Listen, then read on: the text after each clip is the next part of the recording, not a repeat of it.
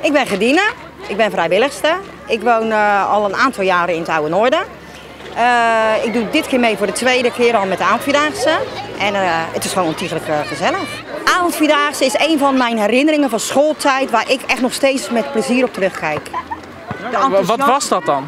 Ja, door de plassen, bij mij dan, door de plassen rennen, met elkaar, het gezelligheid, de saamhorigheid, eh, de communicatie, het zingen, het genot, alles, alles eromheen. De kinderen zijn zo gespannen, moet je maar opletten. Als we dadelijk gaan beginnen, hoe gespannen ze zijn. En als we hier op het einde dadelijk lopen, dan draaien ze helemaal door, dan zijn ze niet meer te houden. Ja, de Noordvierdaagse, wat is dat dan precies? We gaan eh, een rondje door het oude noorden lopen. Van vijf kilometer doe ik hem dan. En je hebt ook de drie kilometer.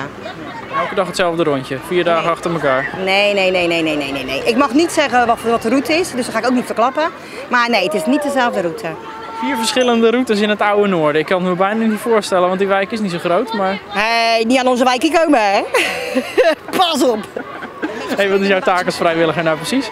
Ik begeleid de kindjes, ik loop voor, ik ben de voorloper. Ik ben de voorloper, de vooruitloper. Ja, dat zeggen ze vaker dat ik haantje de voorste ben, dus ja, het zal wel. Je loopt verder niet vooruit op de zaken. Nee, niet echt. Ja, soms. Soms. Soms.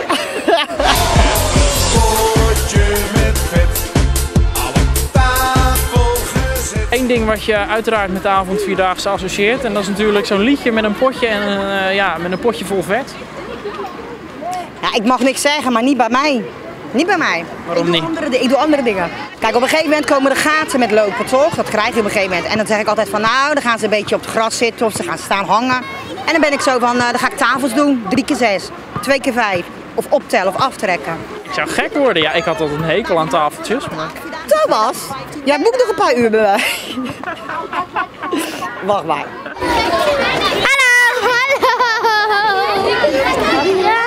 Waarom is dit zo leuk om te doen? Moet je eens om je heen kijken. Kijk eens naar de gezichtjes. Ik zal je dit zeggen, als ik dadelijk thuis ben, ben ik helemaal op. Maar, de, nou, maar die gezichtjes die je dadelijk tijdens het lopen ziet, wat je met die kinderen, het is gewoon ja. Ja, veel, veel te eng. Ik durf niet.